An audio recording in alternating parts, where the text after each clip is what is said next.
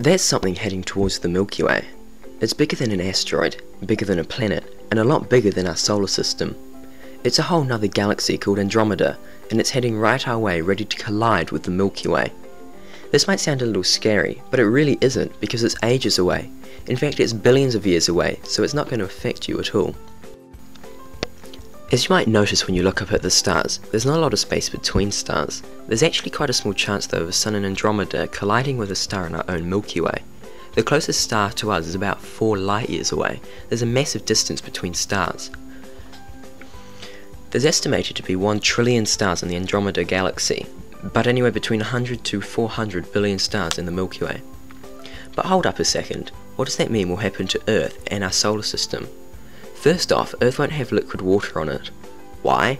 The surface of Earth will be so hot that even liquid water won't exist. Scientists have even predicted that Earth is entering the final 10% of Earth's lifespan. So what would happen to the solar system in this collision? There's a fairly minimal but still possible chance that the solar system would end up getting thrown out of the newly formed galaxy, but there's a bigger chance of the solar system moving three times further away from the centre of the Milky Way than we currently are. So there's no need to worry at all, because it's not going to affect you. So be sure to subscribe and ask your questions in the comments below.